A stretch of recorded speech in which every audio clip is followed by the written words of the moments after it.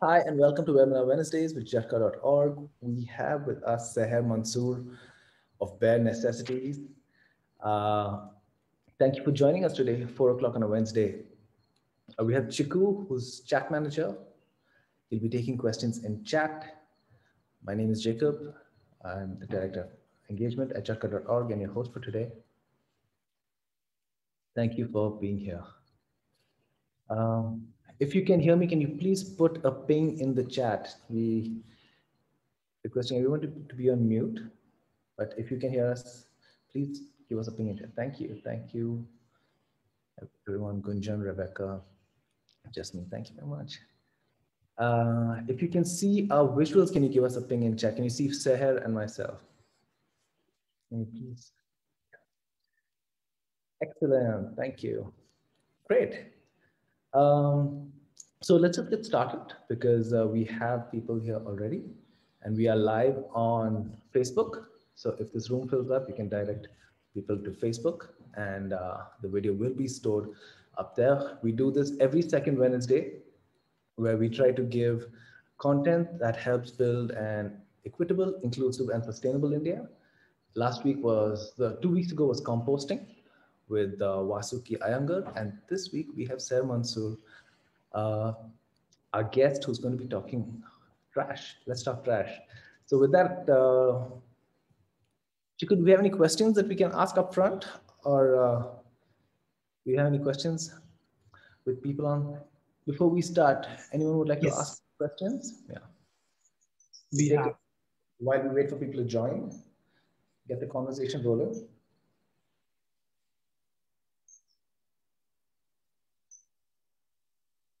For the next two minutes, you're welcome to put on your mic and ask a question. Uh, hi, so is this the session basically for what we can do in our personal lives to reduce, I mean, be more sustainable? Is that what it is? Sahar, can you give us a preview of what to expect?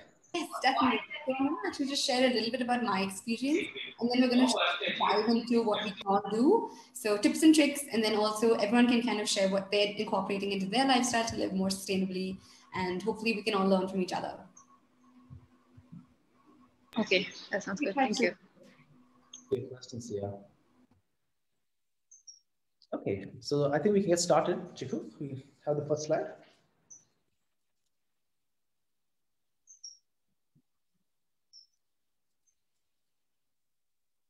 This is Webinar Wednesdays. We do this every alternate Wednesdays from 4 to 5.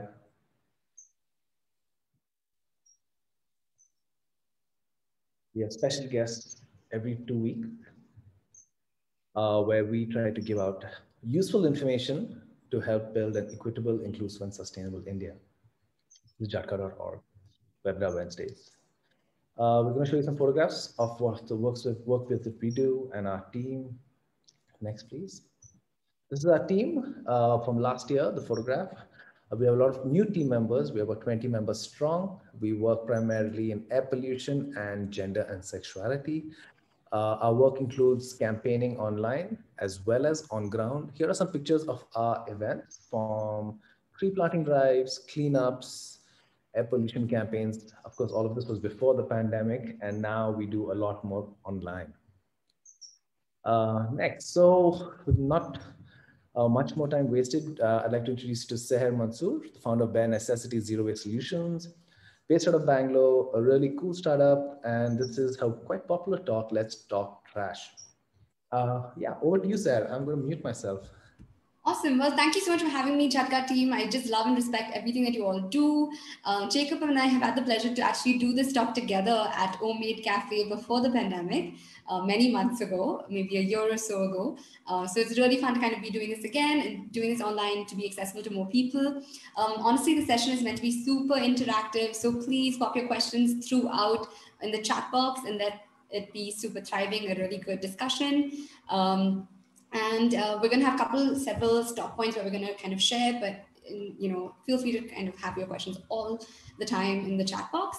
Um, yeah, so I guess my first question for all of you is what is the last piece of trash you all threw out?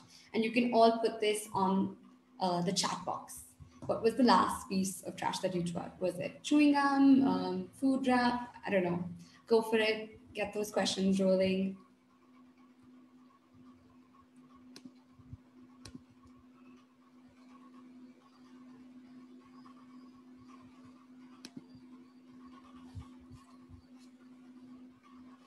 For the sake of people who can't see the chat on Facebook, we have curd, fruit peels, biscuits. Uh, we have takeaway packaging. Uh, we have milk covers, grocery plastics, biscuit packets. Yeah, a whole range of. Banana peels, fruit peels, amazing. Okay, cool. So today we're going to talk about ways in which we can reduce a lot of uh, our trash on our daily basis. And I'm going to share a little bit about my journey, how I got started, and hopefully incorporate a few tips and tricks that you can incorporate to your lifestyle. So we can move to the next slide. So today, let's talk trash. Um, we can move to the next slide. all right, welcome to my zero waste journey. And I know this sounds pretty crazy, but this is primarily all of the waste that I've produced in the past four years. And I know that sounds really crazy, but today we're gonna help dive in deeper into what that means and what that looks like. So growing up, actually, I had um, I have two older sisters. Uh, I have a dad who absolutely loves nature. All my weekends meant kind of growing up in Cubbon Park, climbing trees, falling off of trees, um, and you know, family holidays meant jumping into waterfalls, uh, coffee picking, and whatnot. So we just had this huge element of nature in our lives. So I think I've been an environmentalist since I was like three or four, but I only started actively calling myself an environmentalist um, when I moved to college. Can we press the next? So just yeah. give me one minute. Uh, there's some error in my laptop here. No. Chiku, we have moved. Uh, I've, I've taken over share screen. Don't worry.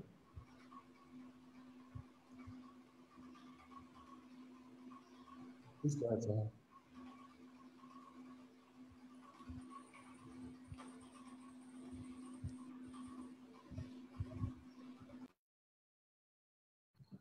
Ahead, please go ahead.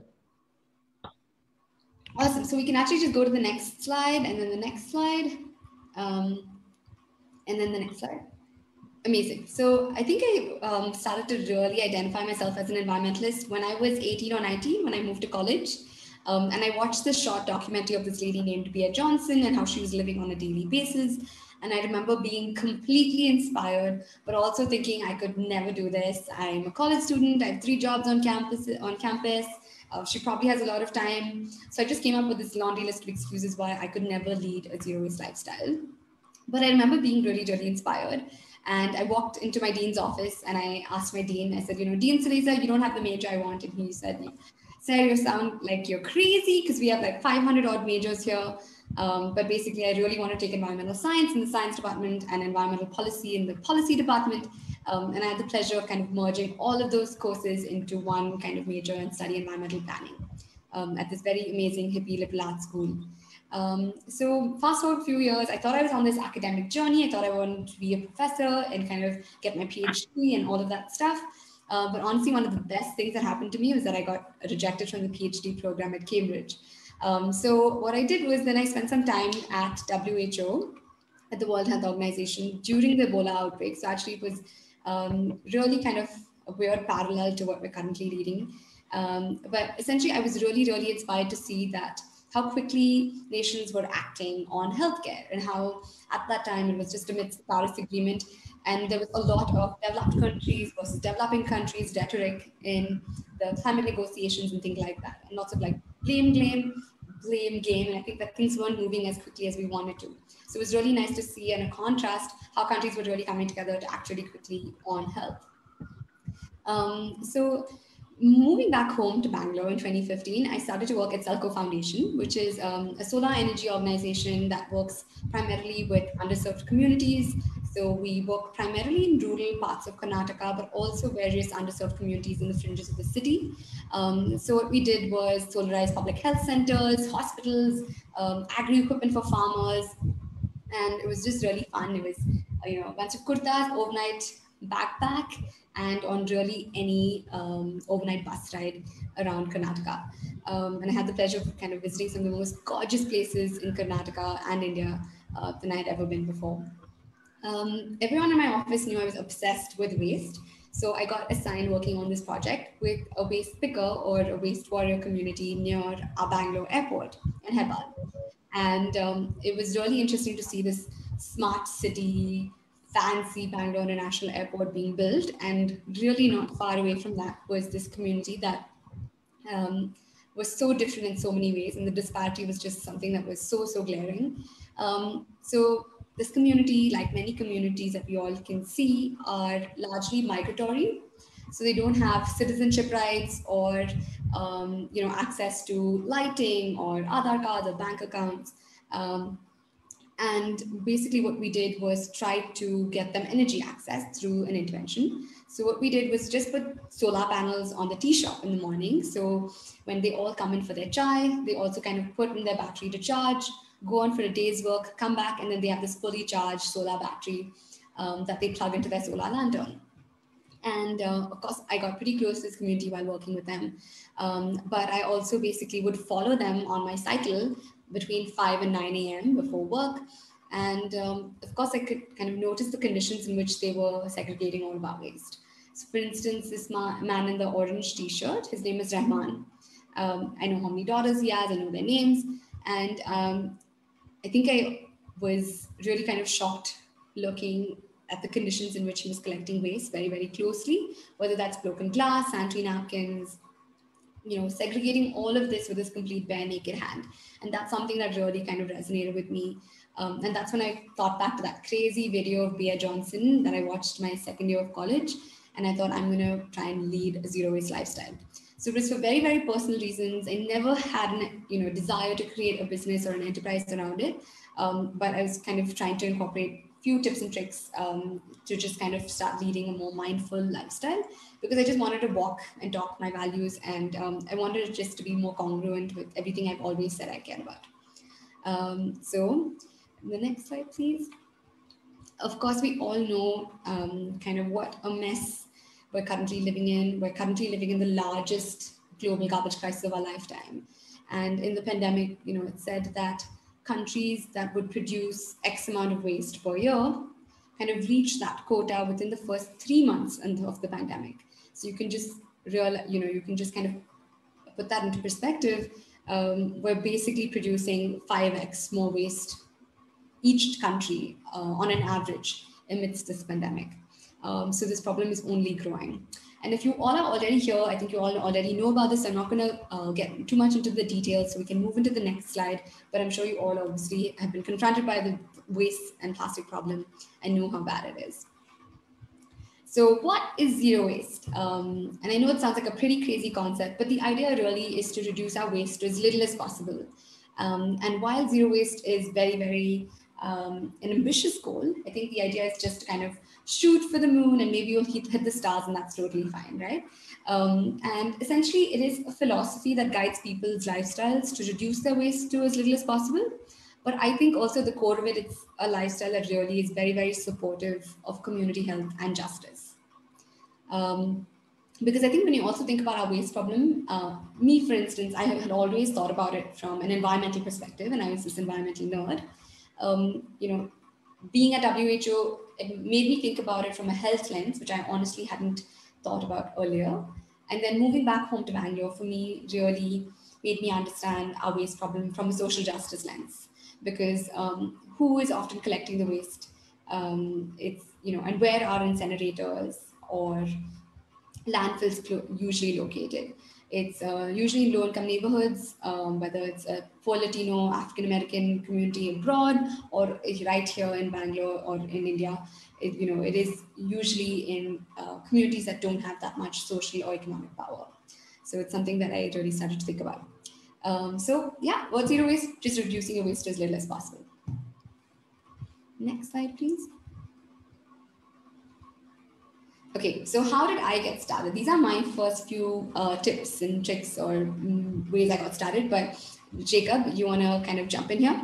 Yeah, I want to jump in and actually just see if we can ask audience of how did they start, if if they have started at all, and uh, what have they done to start their own zero waste? Yeah, Sahar, just want to run that. Amazing. Yes, please put that in the chat box or unmute yourself and tell us what is the first few tips that you uh, steps that you incorporate into your life to start living a more mindful or zero waste lifestyle? I started composting. Yay, Gunjan, you go, girl. Did you also visit the um, kind of attend the last Jhatkaa composting webinar? You pro. um, so honestly, for made bioenzymes, woohoo! That's amazing. Um, so for me, to be honest, I started like thinking about the first thing I wake up in the morning is I brush my teeth, and I looked at my plastic toothbrush and this, you know, this tube with all of these ingredients that I don't even know how to pronounce, and that was really overwhelming. So I was like, oh, I'm going to use a miswak stick. I'm going to use a neem stick. And I was like, this is amazing. This is the first toothbrush ever known to mankind. And it's like rooted in the Indus Valley civilization and all that.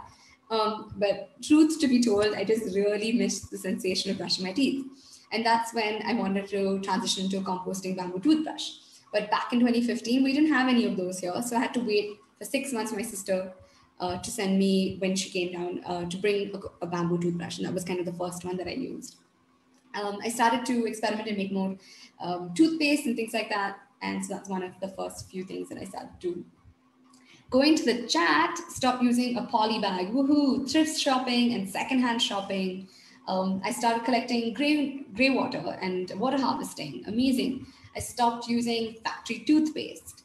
Um, these are some amazing things that everyone is up to. Started filling eco bricks recently. That's really, really cool. Maybe um, you can tell us more about that as well in the discussion session about how you make eco bricks. Um, great, cool. These are really amazing insights. Thanks everyone for sharing. Um, the next thing I would do is I'm such a snacker and um, I would always basically have, uh, whenever I was hungry, you know, reach out for a bag of chips or granola bars and biscuits and whatnot. So my next thing that I did was I started to carry this little cloth bag uh, with Velcro with all my almonds, walnuts, fruits, um, and I just noticed that I also was eating more whole food and which had really good health benefits for me. Um, the next thing I started doing was um, I started composting all my food waste, um, like Gunjan on the chat. Uh, this is the first khamba I use and it's really tiny. And since then I have like a jumbo khamba, graduated from a nano to a jumbo khamba. Um, and then the next thing that I did was started to buy a lot of my food in package free manner. So directly from vendors, from farmers, um, at the time I was, you know, working in rural Karnataka, so I'd come back with like three kilos of peanuts or um, millet or moong dal. Um, so just trying to shop in a manner that didn't have lots of plastic. Great. Um, next. So when I was going through my zero waste journey, I realized that it's honestly just very in our Indian um, I just realized that going zero waste is really in our Indian kind of DNA, right? And at, um, it's really been like on Instagram, and it was kind of at this time, 2015, 16, um, really dominated by a Western rhetoric, which I thought was really interesting. Uh, so here are some examples of Indian examples that I'd love to celebrate um, in the next slide. So one is our bazaars. They're literally everywhere. They're accessible to all of us um, with this amazing access to whole food that is completely package free, whether it's our Naril Pani Walas or someone who's selling, um, you know, guava and fruit. We have access to amazing um, small vendors, and India is the land of small business owners, and that is amazing. Um, which is so so distinctively different from the Western inspired grocery stores that started cropping up, giving us pre-dictated amount of packaged food and dal and sugar, things like that. Um, the next thing is our stainless steel tiffin. Um, people keep, you know, it's uh, t- Indian tiffins are now become like there are startups around it in, in UK called, you know, called tiffin after our, our dabbawalas, etc. And it's just become this huge poster child of the zero waste movement abroad. Um, but of course, it's an 18th century Indian invention, which has this amazing combination of equipment three story, two story, but also of a supply chain system. And we all know um, every day, on an average, two lakh Mumbaikars get amazing, healthy home cooked meals, um, all without producing any waste. Um, and of course, creating about 6,000, 7,000 uh, job opportunities in this in this way. So I think this is an amazing example of what zero waste looks like um, and creating green jobs. And I think that's a lot to celebrate and great models for us and the new tech startups of the world to learn so much from models that have existed in the past and to kind of use models of what they're currently doing to uh, reinvent what we can do in a more circular, zero waste manner. Next. So what's in our waste? Um, you know, this is a great source from Daily Dump, an enterprise again that I love, respect, and deeply admire. And according to them, 60% of our waste is just food waste. So if we compost all of our food waste, kitchen waste, wet waste, uh, we can help divert about 60% of our waste from landing up in the landfill. Um, and then people often don't know what all the categories of waste are and can be kind of overwhelming. Um, you know, where does everything go? But really, uh, simplistically, we've got dry waste and we've got wet waste. So dry waste is everything from paper, glass, packaging, um, you know, snacks, things like that that you can keep separately. And wet waste you can, you know, completely compost. And then within the dry category, you can recycle some things like um, coconut shells, cardboard, paper, um, plastic bottles, things like that.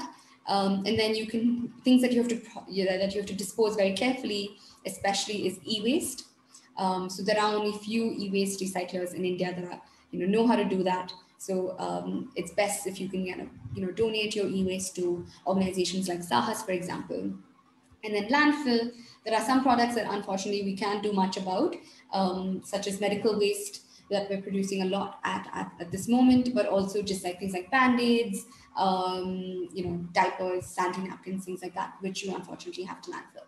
But today we're going to go with some ideas of which um, we can incorporate into our lifestyle where we can reduce all of this in the first place. So those are coming up in the next few slides.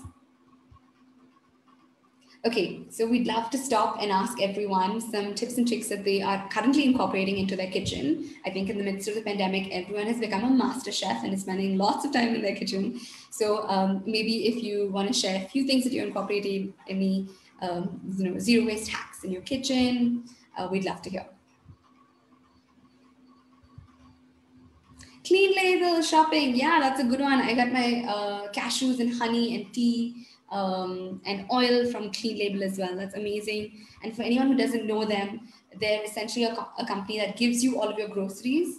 And when you're done, you can just collect a, you know, set up a pickup and they'll give you uh, new groceries in new packaging and they'll just take your old one. So it's a completely loop system, completely zero waste grocery shopping. Um, and they're also gorgeous glass jars um, that have all the nutrition information on the back as well. Uh, so it's a really cool startup. So check it out um, Eco Sansar. I hope I'm pronouncing it correctly. Uh, another one. Make all my masala powders. What a great one. Um, Aparna, Aquaguard. Yes, who needs single-use plastic water? These are amazing things.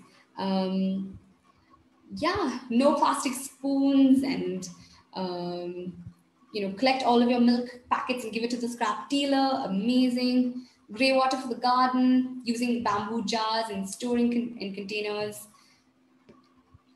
Amazing. These are some amazing uh, tips and tricks. Buying in bulk, homemade spices, biodegradable clothing, make your own bioenzymes. Amazing. You guys got it all.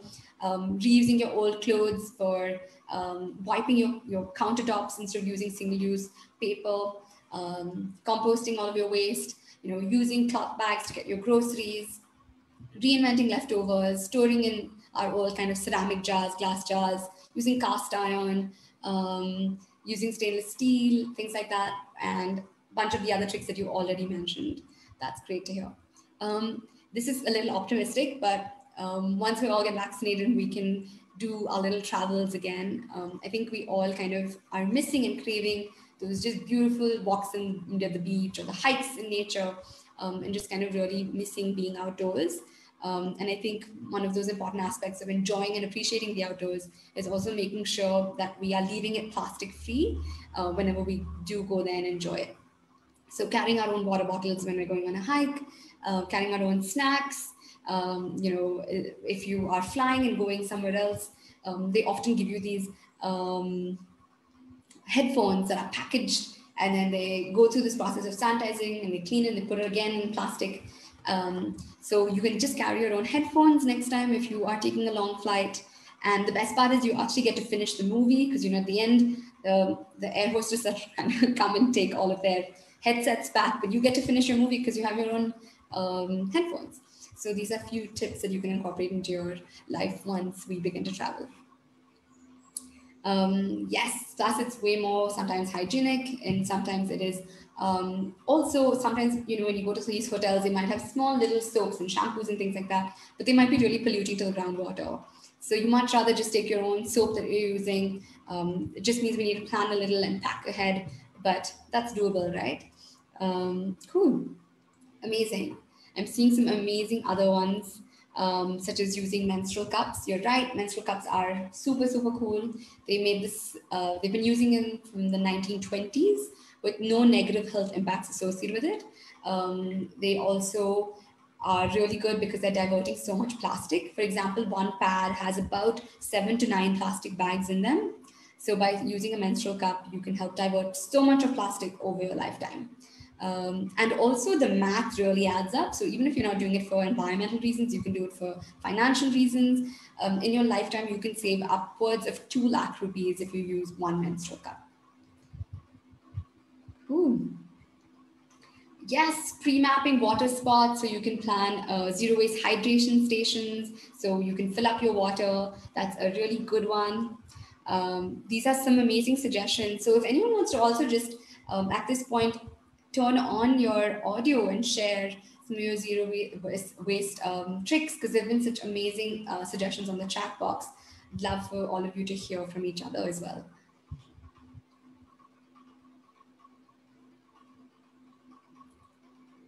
I could go. So um, I have a little kit in my bag, which I used to use when I was going on little commutes. I think a little kit for yeah personal consumption, and then one in my vehicle as well. I have a little larger kit in my vehicle I think these two are really uh, important to me uh, to make sure that uh, whether I'm going out for work or driving people around, I can uh, be as zero waste as possible. Amazing. Thanks so much for sharing, Jacob. Vidhi, do you want to share about um, the dry waste collection centers and waste and stuff? Um, hi, I don't know. Can everybody hear me? Yeah, perfectly. Okay. So I actually uh, started collecting some of my dry waste, which was recyclable. And I got in touch with this, uh, you know, huge recycle center that is there here in Mumbai, in Powai. And uh, what I do is, I so they actually come and pick up if you have 15 kilos of dry waste. Um so yeah like i've been able to i think just like collect all the amazon cartons and stuff because you know with the lockdown and everything there's a lot of things that comes in.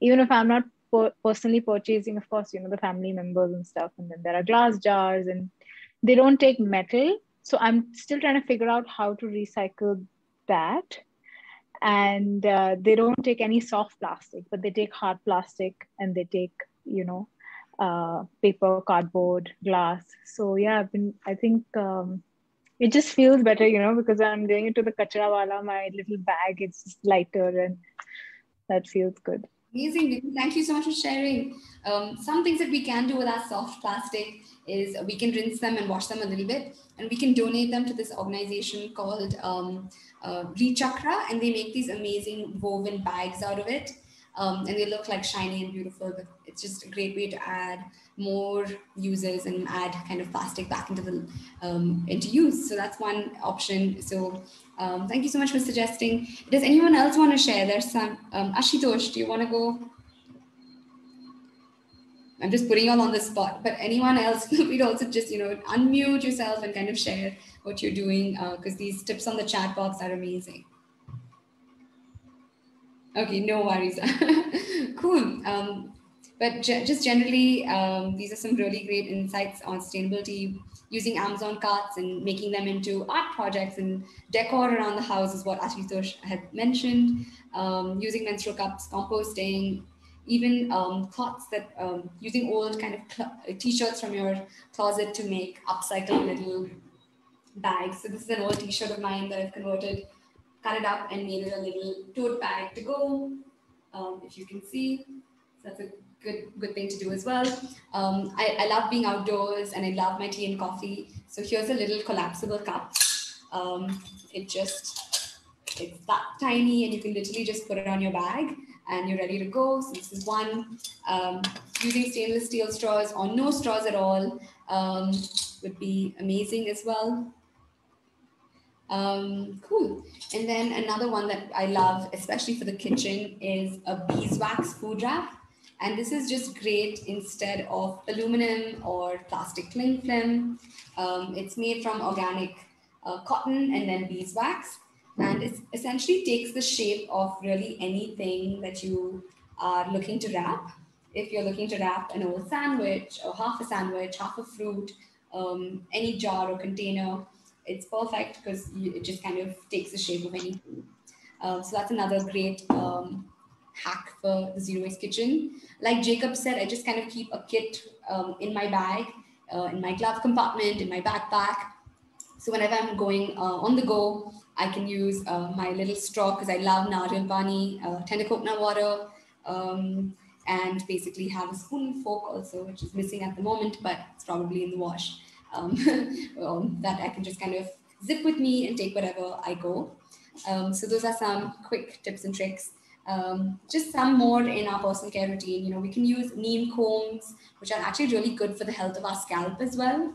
Um, and then for all of the women in the room who might be using some wipes to kind of wipe down their makeup or their kajal and things like that, you can just use um, organic cotton little reusable makeup rounds.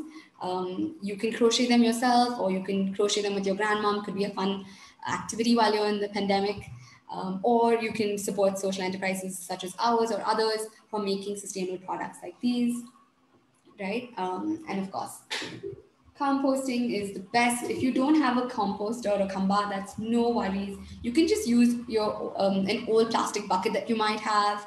All you need to do is pop some holes in them uh, because that just helps the wet waste to uh, decompose and you know provides a good kind of level of aeration. Um, so yeah, those are some of my favorite tips and tricks. In terms of stationery, um, I love just investing in one good ink pen that you can use for your lifetime. Um, also, I think it's kind of like a dying art form, writing with ink pens, so that's kind of cool. Or you can use pens that have seeds in the end. So this actually has some spinach seeds um, at the end, you can see. And this looks like plastic, but actually it's kind of just the same top as um, a capsule that you might have when you're under the weather. It has the same kind of cap as that. So it's completely soluble and kind of dissolves. Um, or you could use pencils and pens um, that are made of newspaper, old newspaper rolled. And there are lots of amazing uh, social enterprises in India that are making these amazing sustainable products. So you're also supporting livelihoods by virtue of your zero waste or low impact um, actions. Cool. And I'm just going to uh, fill out a question which I thought you could answer at this point, which is, can these beeswax wraps be used for baking?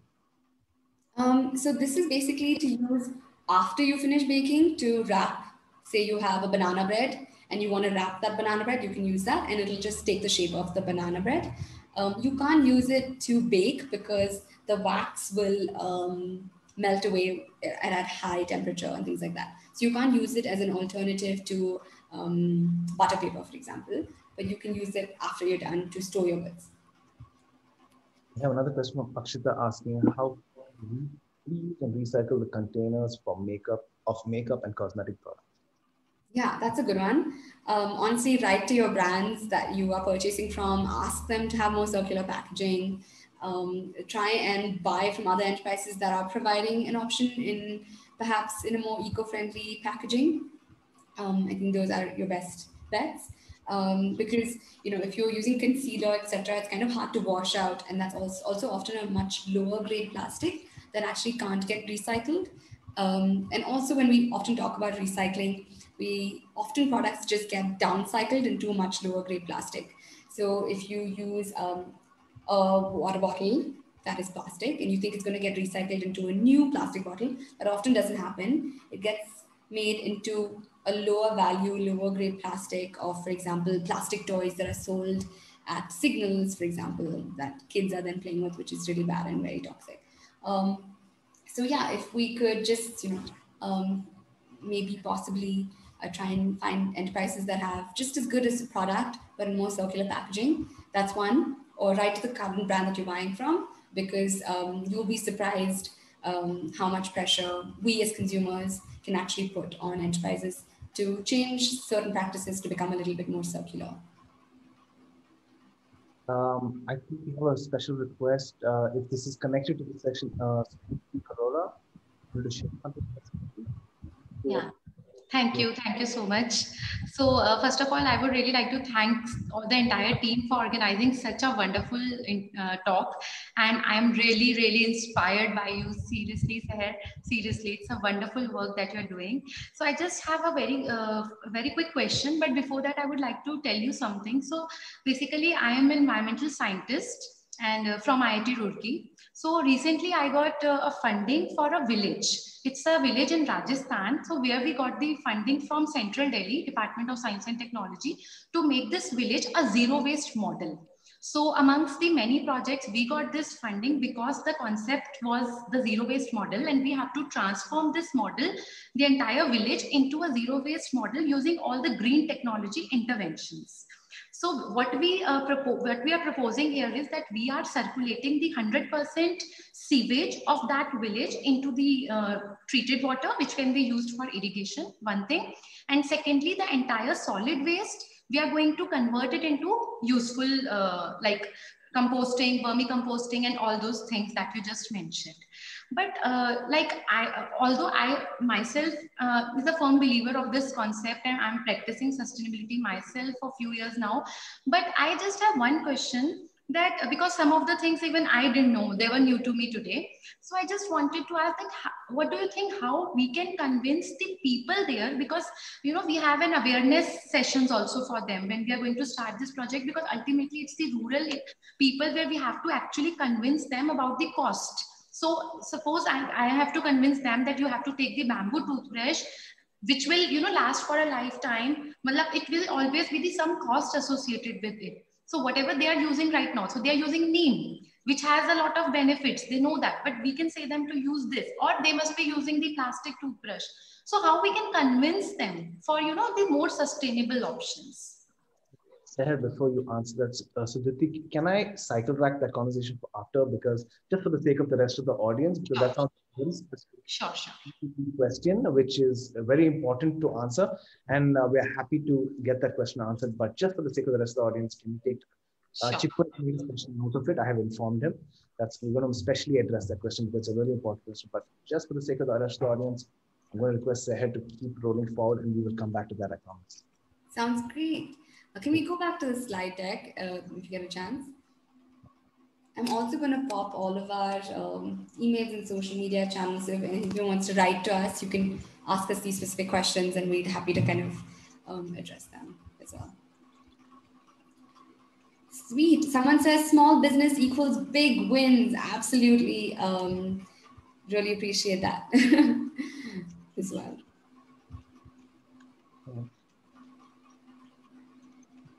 Yes. Uh, what is the company that reuses plastic? Yes, you can wash it.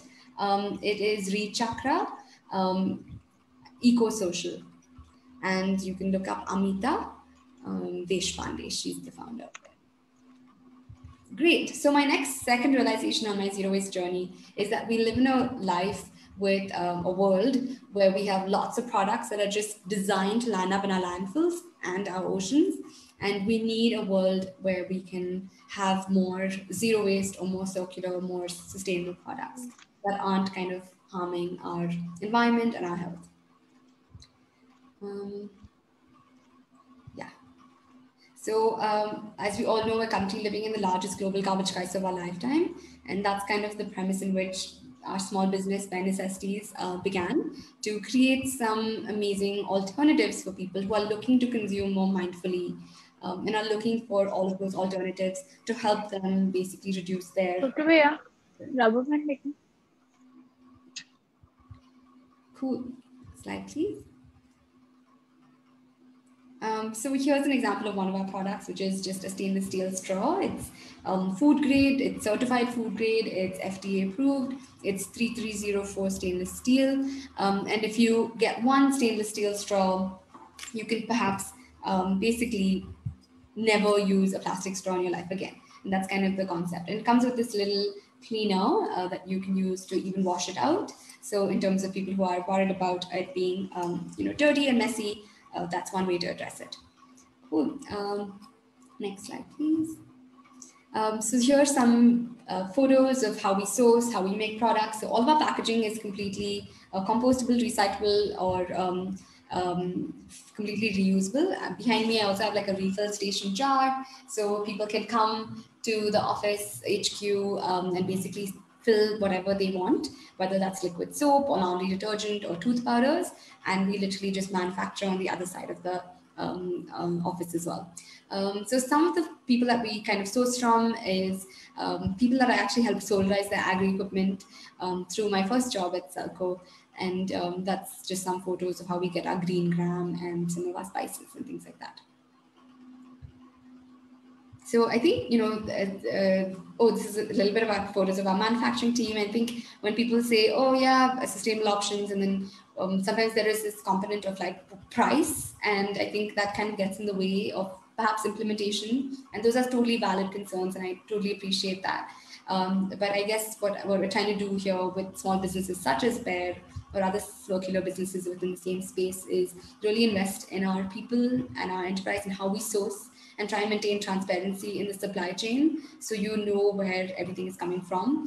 Um, we really deeply care about upskilling um, the women in our manufacturing team are learning English, computer skills, um, and there are, here's are just some photos of um, behind the scenes, I suppose. Um, but in terms also about the cost element, I think it is an economies of scale problem and also solution. Um, I think if more people start kind of demanding for better products or sustainable products, um, we will be able to produce so much more and thereby kind of bring the price of alternatives down. Um, I also think it's kind of this ecosystem perspective. It's not just um, you know one thing, but many multiple things that have to come together to make this um, really actualize. For example, I think um, policies and environmental policies that come from governments could basically help um, with tax rebates or whatever it is to help incentivize small sustainable businesses from existing. Um, you know, or you could have, um, basically, if you were to reduce the tax for small enterprises like that, you're basically helping reduce the price of alternatives to make it more scalable and more kind of um, mass market. So I think those are few. I think we also need sustainable uh, businesses, manufacturers creating those alternatives.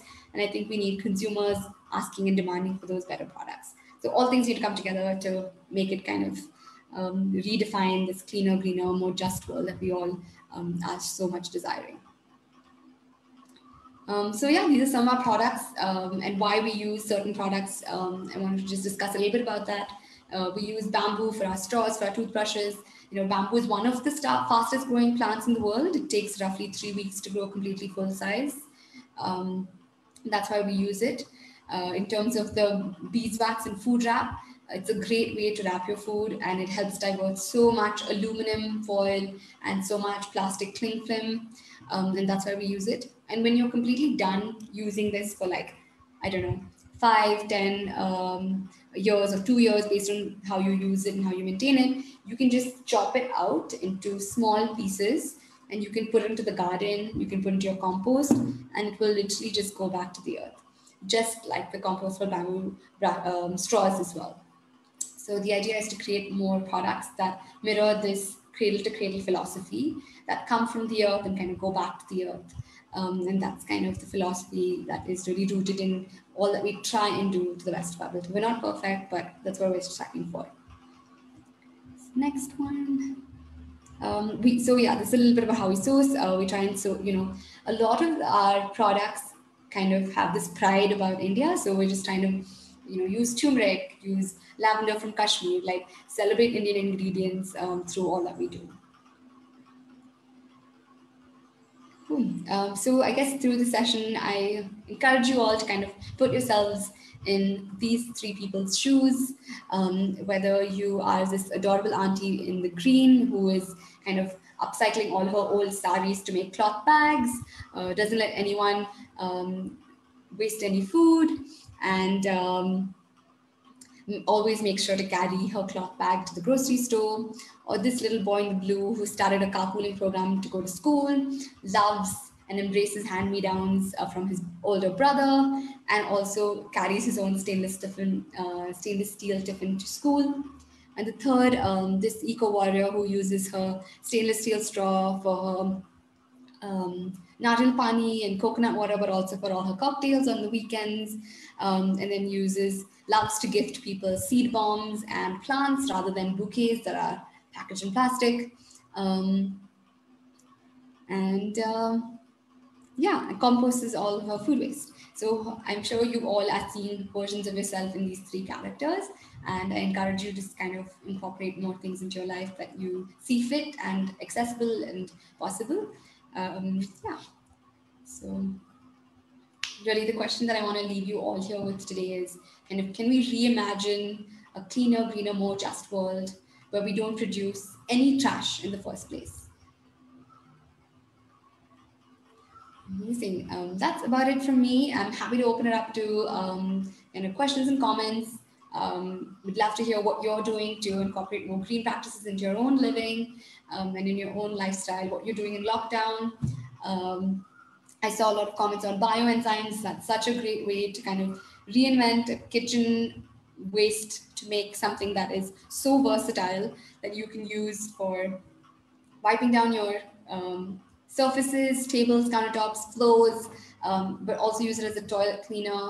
Um, it's amazing. So encourage you to look up um, a recipe to make bioenzymes. Um, if you haven't already, that's another really great one. Sir, we have a, we have a hand up. Sanjana, uh, you've had your hand up for a while. Would you like to actually address the question, uh, address a question related to the session to Sahar? Or was that an accident? if that was unintentional, then Chiku, can you bring together some questions that uh, the audience has submitted? Yeah, I think this is a really good one. Gunjan says small cities are producing more trash by just copying all modern practices and leaving their own um, good old practices. Definitely. And I think the notion of zero waste really kind of celebrates a lot of things that we used to do traditionally in India. And we're talking about kind of bringing that back in a way that um, also kind of is um, you know, scalable, accessible, um, and kind of, yeah, just where I think where honestly India and just lots of Asian countries are in this really interesting crossroads where we can mimic the West and have these hundreds of Western inspired grocery stores, clothing stores, and all of that. Or we can kind of reinvent a different version and go our own different path.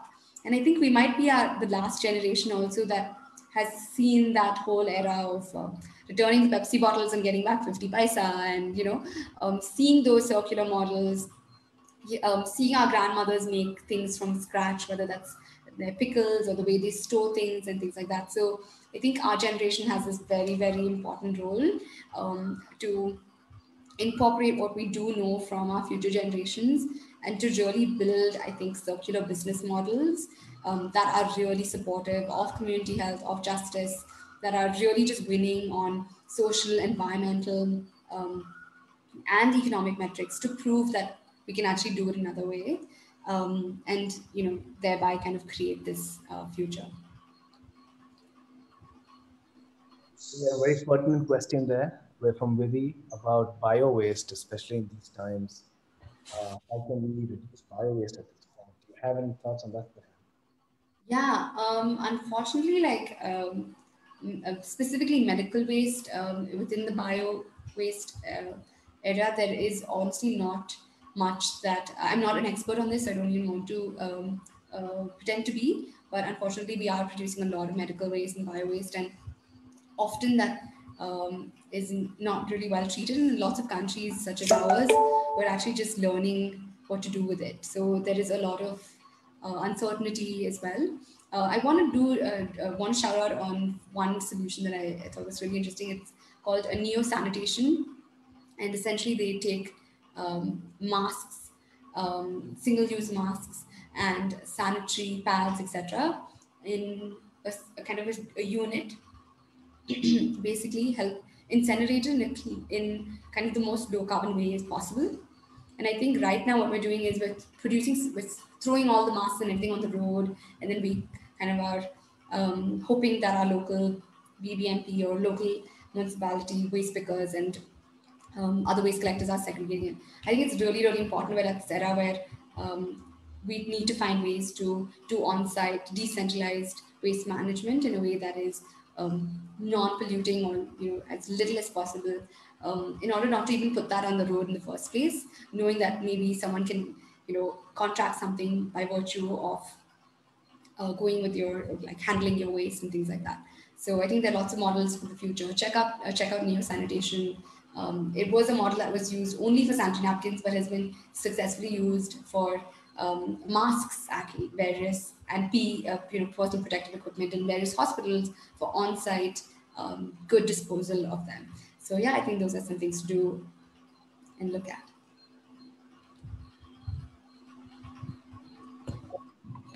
I have a question on how do we clean bamboo straws? It could be a health issue. Yeah. Um, so, uh, so stainless steel straws you can use for your lifetime. Bamboo straws you can't use it for a lifetime. Um, you should just compost it whenever you're done with them. Um, you should clean it with a straw. Um, you should wipe it down dry, and as far as possible, you should make sure it gets dried and gets like plenty of sunlight and things like that. Um, so this is more versatile and less maintenance. Um, just to be uh, honest and open and transparent about that. Another person asked about what you can do instead of bubble wrap. And this is kind of a great um, alternative. It's like a pa paper wrap, and this is used to wrap like glass and things like that. Um, and you have a more sturdy version of this for um, electronics and things like that. There's also some amazing innovation going on in this space with um, using mushroom and mycelium and hemp so for example, you know, uh, when you buy electronics like TVs and things like that, they have they come in all of this styrofoam because of course they're protecting the, the, the TV from like moving around.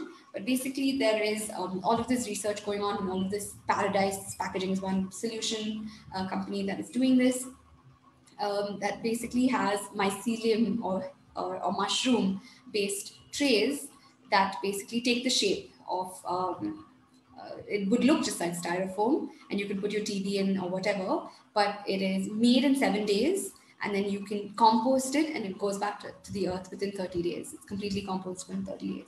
So check out those kinds of packaging. Um, and maybe lots of you among in this room are going to create some of those more sustainable solutions for us um, in the e-commerce and shipping space. You never know. Um, so yeah, sky's the limit. Yeah. Uh, question. Yeah, go ahead, Deepak. Sahar, uh, hi. Uh, I just joined 10 minutes ago, so I did not hear uh, fully. Uh, so when you are telling about uh, steel straws, stainless steel straws, has it been properly analyzed what is the carbon footprint of manufacturing the steel straw versus carbon footprint, carbon footprint or water footprint of manufacturing that versus a plastic straw and and its overall lifetime. See, for why I'm saying this is, for example, uh, electric car definitely has significantly higher carbon footprint of while it's being produced. It's only, only after uh, over a period of time, over a, over its lifetime, it crosses the footprint actually is lesser than a diesel car. So for for all the uh, alternatives that you're suggesting, are such analysis being done? Is the question. Yeah, primarily that stainless steel straw. Yeah, definitely. That's a good question. We do engage in life cycle um, impact assessments for a lot of our products. Um, so what we do think is that the amount of plastic that is generated is at this unprecedented rate. And if we think if one stainless steel straw can help divert over thousands of plastic straws, um, we think that is worthwhile.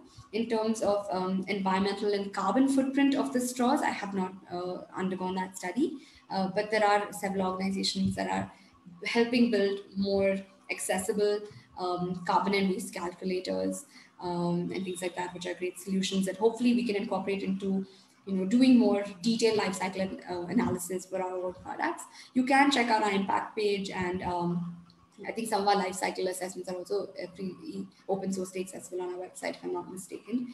Um, so yeah, that's just my short answer. Definitely more to learn, definitely more to figure out. Uh, I've said this before in the presentation, we're not perfect.